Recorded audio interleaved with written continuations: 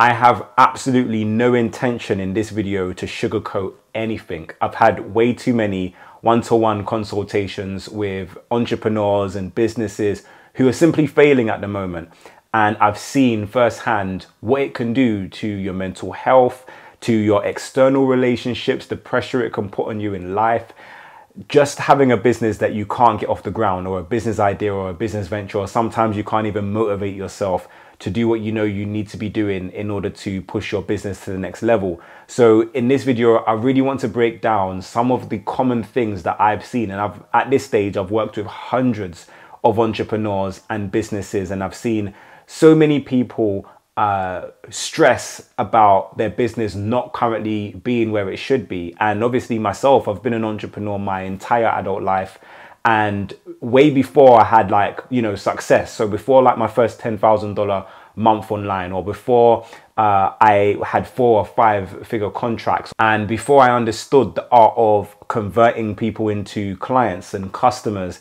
I was struggling as well. Like it took a while for me to understand some of the principles and go from a struggling entrepreneur to an entrepreneur who actually can build a career and a life for oneself. So I was running an offline business before I ever came online. Obviously, there were online elements like creating a website, and uh, I, I, had like video ads that I was working on, and, and so on and so forth. Um, but fundamentally, I was running an offline business. And I was about 17 at the time when I started. So I knew nothing about business. I didn't have much work experience at all. And I was failing in so many different ways in my business and I just I didn't understand the principles at that time. I had no coach. I had you know no one to really guide me through the process.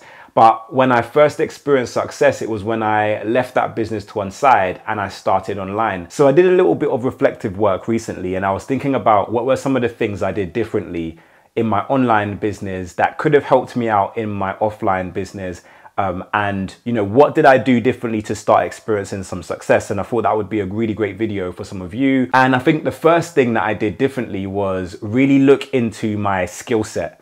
So I was talented with using the internet. You know I knew how to create websites. I knew how to to, to run advertisements online. And that's one of the things that I always say as well is to make sure you're starting a business in an area that you have interest in, you have knowledge in, you have experience in, because that's always going to make it a lot more enjoyable for you in the long run than if you're just starting a business because you think it is a business that will make you a lot of money. You can obviously do that eventually, like once you've built some success in one area, you can go off and run other businesses and invest in, in other places and so on and so forth.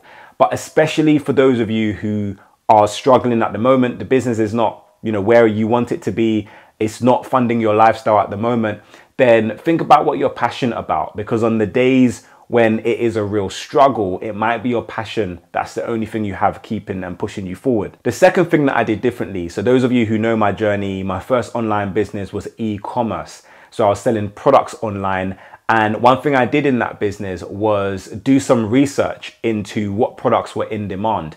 I spent so much time researching. I spent way more time researching than I did anything else in that in that business, and it was um, a, a, my first successful venture.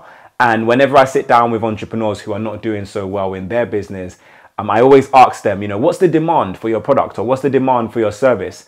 And those who know what their demand is, know what their demand is in their niche or for that particular service or product they're trying to sell, they are usually the ones who excel, who do extremely well eventually. And those who have no clue are usually, I hate to say it, but I said I was going to be brash in this video, but those tend to be the entrepreneurs who are the lazy ones. They don't want to do the background work. They just want the product or the service out there. They want people to buy it and then they want to make loads of money.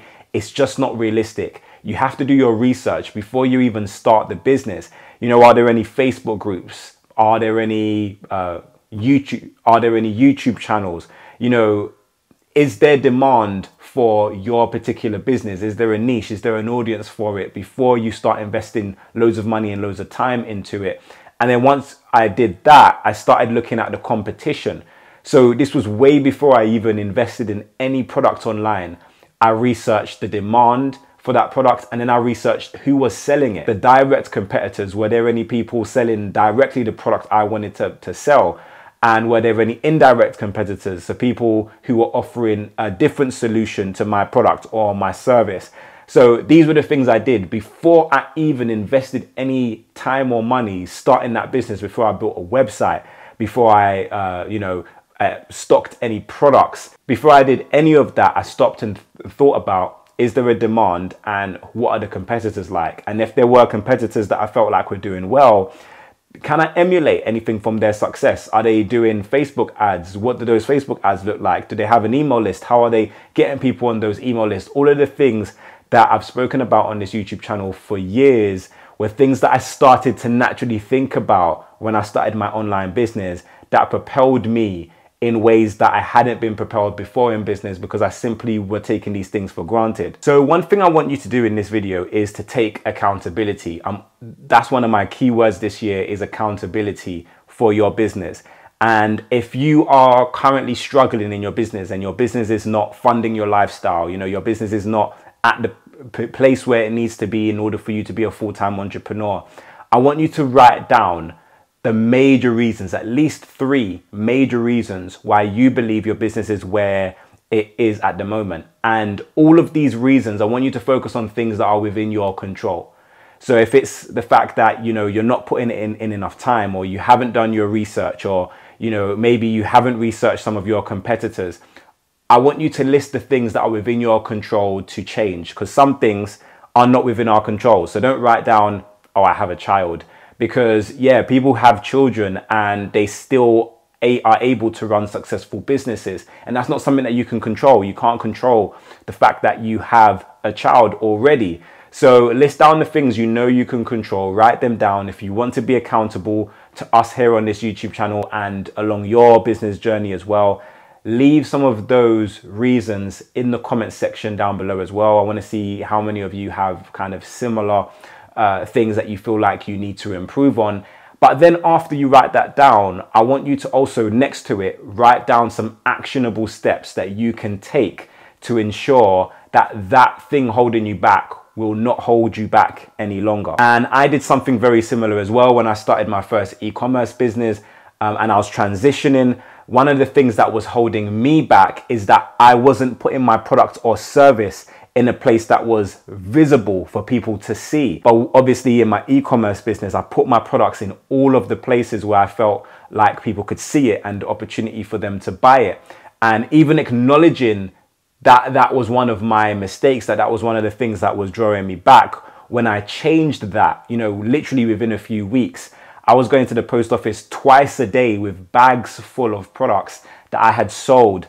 Um, and this was literally, you know, a, shift in mindset and a shift in direction and energy allowed me to go from you know not doing well in business to like I said going to the post office twice a day with bags full of products that I was sending out to my customers to the point where uh, the staff at the post office knew my name um, and they would uh, allow me to, to take home some packaging labels so I can label my own packaging to make their job a little bit easier because I was coming in with so many parcels every single day that it was becoming a stress for some of the workers because it was a lot of, a lot of load. So they started to help me to you know label my packages at home so that I can bring it to them and it's all labeled it's all done.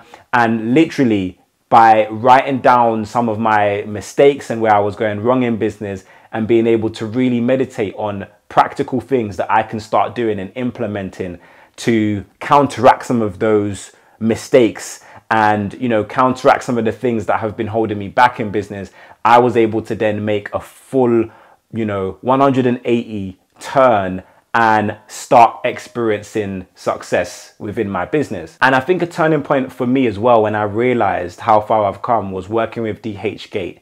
And I want to share this story because some of you might be in a similar position that I was in at the time as well. Like my first online business, e commerce, DHgate was the very first website that I ever invested in. It was the very first platform that I ever used to buy products.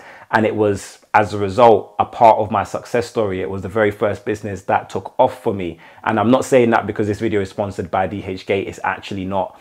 Um, but this year, I have actually been able to work with DHgate. Towards the end of last year and early this year, I was working with DHgate on projects. We have a Udemy course together on marketing And for me, it was like full circle. That was the first company that I invested in where my business was actually successful. And now, rather than me just going on a web, random website called DHgate and making a purchase as a random customer, they actually know who I am and we're actually, we've collaborated together, which is incredible.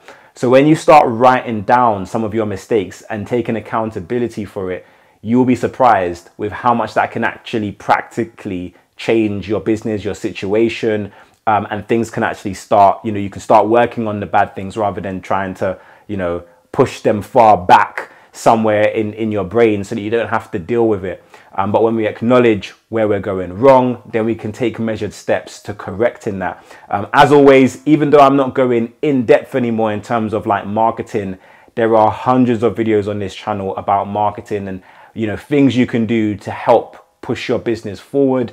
I still have the formula available. It's the free guide to generating leads and sales online. So I'll leave links to it in the description down below. If you have not read it yet uh, and you want help in terms of boosting your business, make sure you go and uh, read that because it will help you to understand how marketing online works and how you can use it to your advantage to grow your business. But I do really hope that this video brought you value. I am trying my best to cater to the topics that you suggest to me. Um, some of you left me suggestions when I posted my last video, so I'm going to put it out there again. If there is anything specifically you want me to talk about in future upcoming YouTube videos, do let me know in the comment section down below. But until next time, guys, have a great day and I'll see you soon.